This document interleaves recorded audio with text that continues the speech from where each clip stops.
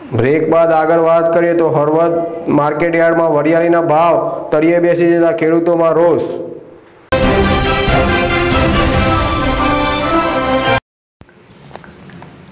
ઓણ સાલ પાક વીમાના પ્રશ્ને લડતા ખેડૂતોને પડ્યા પર પાટું પડ્યું હોય તેમ તેઓની વિવિધ જણસોનો યોગ્ય ભાવ પણ મળતા નથી.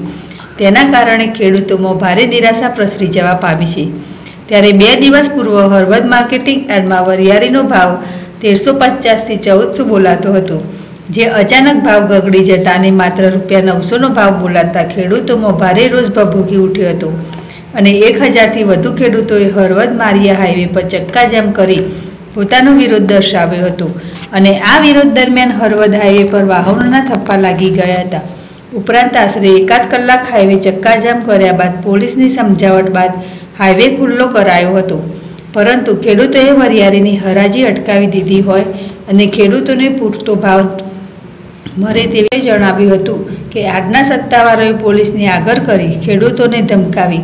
કોઈપણ કારણોસર વરિયાળીની હરાજી કરવા ખેડૂતોને અટકાવતું હોવાનું પણ સામે આવ્યું છે. મહેન્દ્ર મારુ સાથે સોમ ભરવાડ, જેડેશ ટીવી હળવદ